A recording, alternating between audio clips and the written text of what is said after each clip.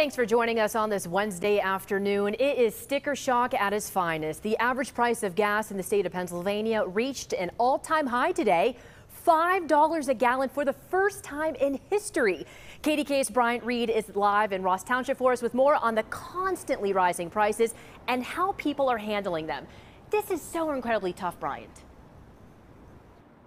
Yeah, it's tough for everybody, Lindsay. You know, we're talking about uh, $5.03 a Pennsylvania average, but this BP on McKnight Road is $5.09 for just regular gas per gallon. Now, around the area, we've also seen $4.99, which is 10 cents lower. However, nonetheless, the prices are still high, and experts say don't expect the prices to drop anytime soon either. Now, here's a quick breakdown of the gas prices locally and statewide.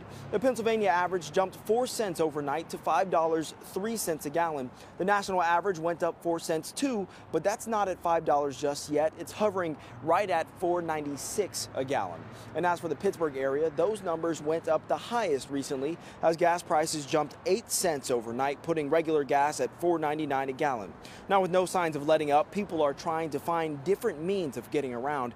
Ken Scholl owns a bike shop and says it's more than just the summer months that's driving people in.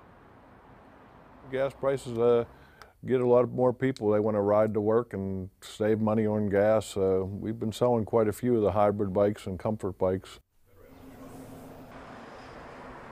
Now, Lindsay, of course, the main question that everybody wants to know is when will these prices start to go down? Uh, sad news here is that experts say that they're not exactly sure when that will happen, but one thing that is certain is that the days of $3 gas are far behind, behind us.